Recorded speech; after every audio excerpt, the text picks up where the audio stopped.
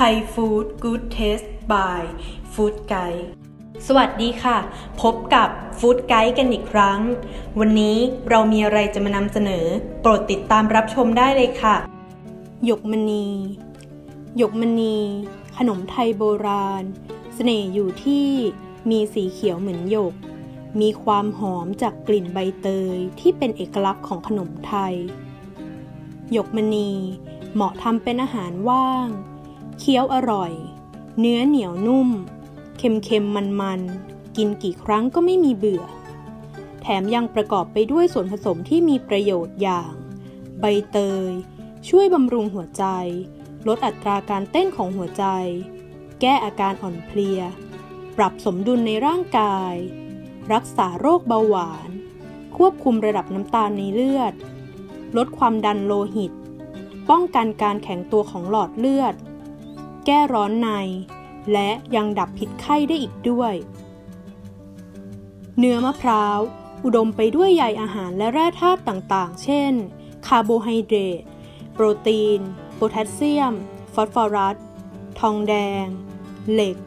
กรดไขมันอิ่มตัว ช่วยควบคุมน้ำหนัก และดีต่อสุขภาพหัวใจ มีวิตามินอ e ีที่อยู่ในรูปของสาร โทโคไทรอินอล ช่วยต้านอนุมูลอิสระอย่างมีประสิทธิภาพ มีกรดลอริกในปริมาณสูง ช่วยทำลายเชื้อโรค และเสริมสร้างภูมิคุ้มกันในร่างกาย ส่วนผสมสำหรับการทำหยกมณีคือ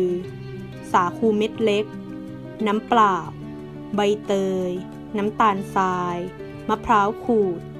เกลือ ขั้นตอนวิธีการทำหยกมณี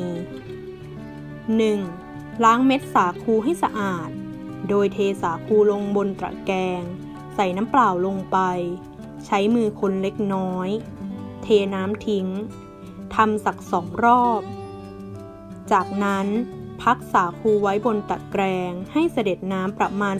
15-20 นาที 2. นำใบเตยมาหั่นเป็นชิ้นเล็กๆ แล้วใส่โถปั่น เติมน้ำเปล่าลงไป ปั่นให้ละเอียด จากนั้นกรองด้วยผ้าขาวบางเตรียมไว้ 3. เทน้ำเปล่าใส่หม้อ ใช้ไฟแรงสูง พอน้ำเดือดพล่านให้ปรับเป็นไฟขนาดกลาง จากนั้นใส่สาคูลงไปคนอย่างรวดเร็ว คนจนสาคูเริ่มจับตัวเป็นก้อน มีลักษณะเป็นตากบ คือมีสีขุ่นตรงกลางและภายนอกสีใส 4. ใส่น้ำใบเตยลงไปในหม้อสาคู คนให้เข้ากัน แล้วใส่น้ำตาลทรายลงไป พอใส่น้ำตาลทรายเสร็จแล้ว ก็คนส่วนผสมต่อไปอีกประมาณ 5 นาที หรือจนขนมค่อนข้างหนืดตัวและมีความข้น จากนั้นเทขนมใส่ถาด เกลี่ยให้เท่าๆกัน ผึ่งขนมไว้จนเย็น 5. นึ่งมะพร้าวที่ขูดแล้ว โดยใช้ไฟแรง ประมาณ 15 นาที จากนั้นนำมะพร้าวใส่จาน โรยด้วยเกลือป่น คลุกเคล้าให้เข้ากัน 6. นำช้อนกินข้าวไปจุ่มน้ำเล็กน้อย จากนั้นนำมาตักขนมหยกมณีเป็นชิ้นขนาดพอดีคำนำไปคลุกกับมะพร้าว ตักใส่ภาชนะ เป็นอันพร้อมเสิร์ฟ ก็จบไปแล้วนะคะสำหรับการนำเสนอในครั้งนี้ ในคลิปต่อไป ทางเราจะนำเรื่องอะไรมานำเสนอ โปรดติดตามรับชมกันด้วยนะคะ